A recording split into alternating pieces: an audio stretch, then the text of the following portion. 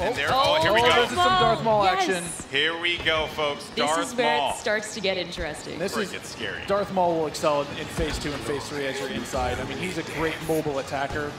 He's going to Especially sit there because with it's his such lightsaber. close quarters too, so Oh, he's exactly. absolutely perfect for that. Absolutely. I mean, some of his abilities you can see here, he's got that spin attack. He's able to woo, just rush in and out of combat and just take guys out in the, in the process. Those two are specialists now, uh, so not everyone's going to have it equipped, although it was really fun in the original battle. That's right. But I am going to be excited to hop in the jump trooper and shred people myself. I mean, I know people, we love the people, a lot of people love the jump pad. Oh, Oh, now we've got Rey. Oh.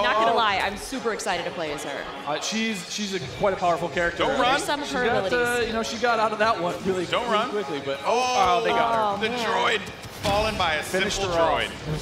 No, but So Rey how has, does her Rey has mind trick affect enemies? Absolutely. So Rey's mind trick is, is something that against uh, all enemies, they'll be confused for a little bit. and Your controls will kind of you know work against you, making you a little bit more vulnerable to attack.